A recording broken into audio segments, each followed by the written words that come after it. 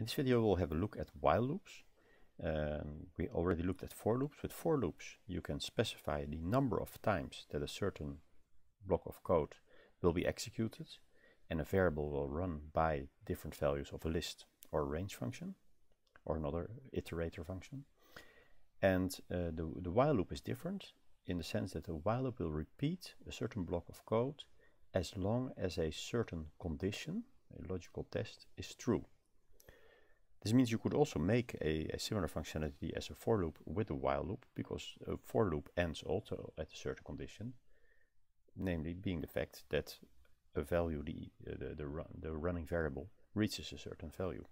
An example, if we have i set equal to 1, then we can say while i less than 10, print i and increase i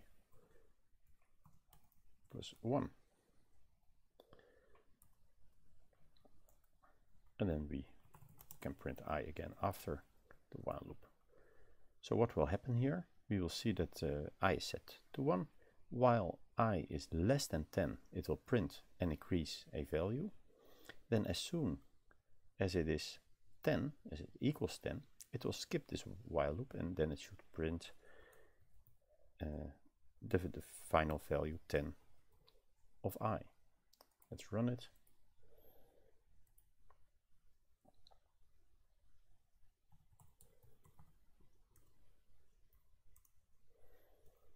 Missing parameters. Oh, the print, of course, I used the old Python 2 syntax there. Right, uh, like this. And there also.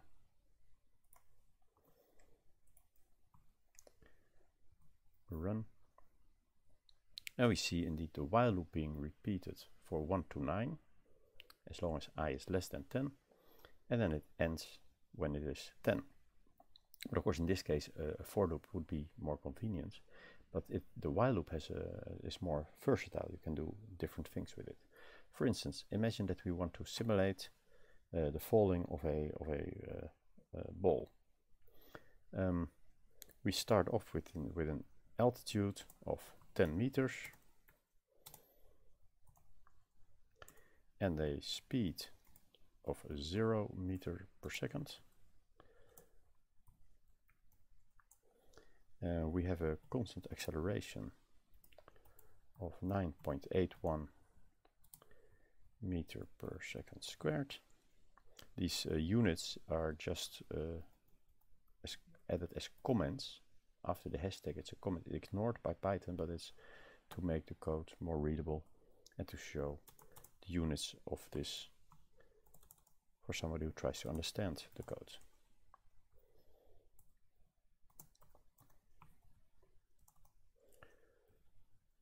And we have the time, the time step, and we can also add here altitude, vertical speed positive up. And then we have the acceleration. If we have positive up, then the acceleration should be negative. So vertical acceleration.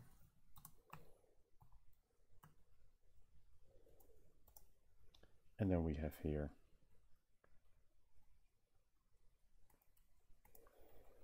the time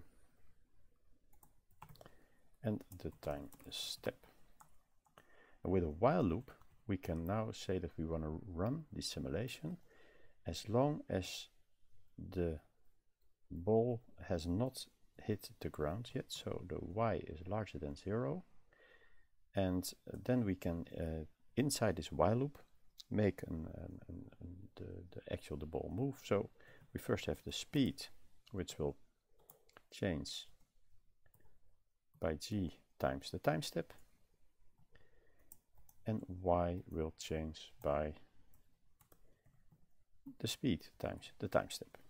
so here we say for each time step dt, we calculate the change of the speed and the change of the position, and we also update the time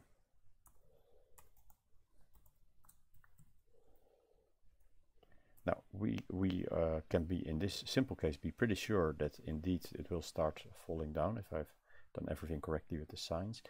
But to make sure that the things run, it's always better to be safe that the program will not get in an endless loop.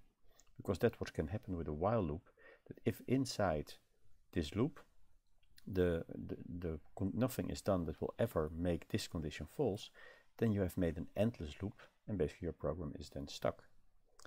So you have to always have to check that with a while loop and there are two things that you have to check. Often you want to at least enter it, that it, it's being executed once. So check whether it will be entered, will it will be true.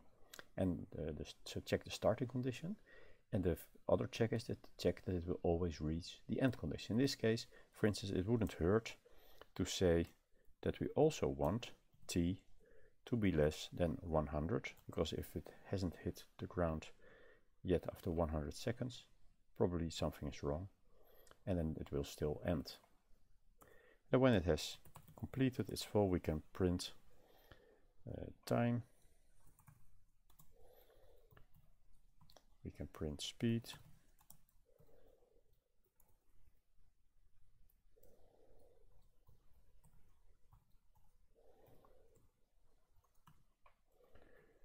and then we can see whether our while loop works as planned.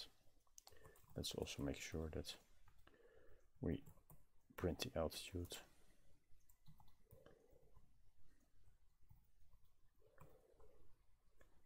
So we have here a condition, that this total condition is, is a logical, which basically checks whether i is larger than zero and the time still being less than zero, that uh, that is the condition that has to be true. Both of them have to be true. That's why we use the and. And in other ways, you could also say it should stop when either of these is no longer true. So you can also do it like this. Uh, when not, and then we can use the end condition and say, well, as soon as it's larger than 100 seconds, or we have hit the ground, then we should stop it. So only execute when this ending condition is not true. And that is basically with while not, you make it a sort of a repeat until. So in this case, either it will be stopped by hitting the ground or by the clock running for 100 seconds and then we did something wrong. Let's see if it works. And we see that indeed at some point it reaches the minus 0.3 meter, so in the ground, because one time step before it was apparently still above the ground and then uh, the speed and we see also how much time it took to hit the ground and if we want to be this to be more precise we should have used a smaller time step and then we get it closer to the ground and we get a more accurate estimate of actually the time that it will take to hit the ground and we see that it's actually 1.42 something seconds and the speed is minus 14 meter per second and now we get a more closer estimate of the uh, of the hitting of the ground. Um, let's see, this is a slightly larger speed than here because it is updated one more time. Yeah. Okay, so this is a simple example of a while loop.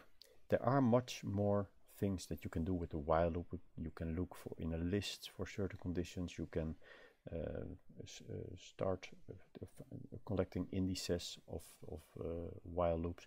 You can combine while and for loops. You can check for certain numeric conditions and in, in another video we'll have an, a look at what you can do with these two loops, the while loop and the for loop and how you can use them.